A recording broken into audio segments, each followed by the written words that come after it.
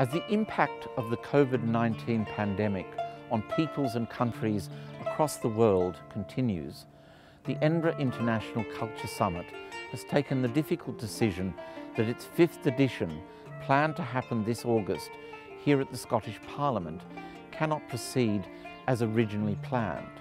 The summit partners, the British Council, the Edinburgh International Festival, the Scottish Parliament, the Scottish Government and the United Kingdom Government all continue to advocate strongly for the power of culture to unite peoples and to transform lives and societies, even in the most difficult and challenging of circumstances. Which is why I am delighted to announce a special edition of the summit to be launched and available free online from Saturday the 22nd of August.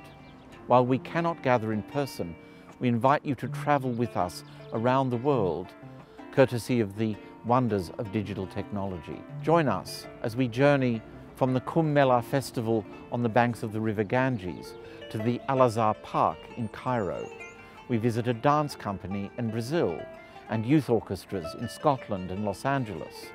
We travel from Washington's Library of Congress to London's Victoria and Albert Museum. We hear the voices of Trojan women echoed in Syrian refugees now living in Glasgow and are reminded that art endures beyond the moment and circumstances of its creation. Culture enables us to understand our world.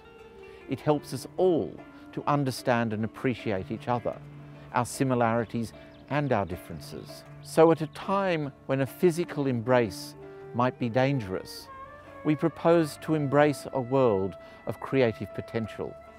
When the global impact of decades of normal economic and social behaviour is being so abruptly overturned, this special edition of the Edinburgh Culture Summit will consider what ideas and perspectives embedded in all of our cultures can help take us beyond our current predicament.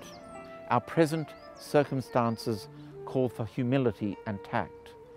This is a time for thoughtful recalibration of our most fundamental beliefs and aspirations.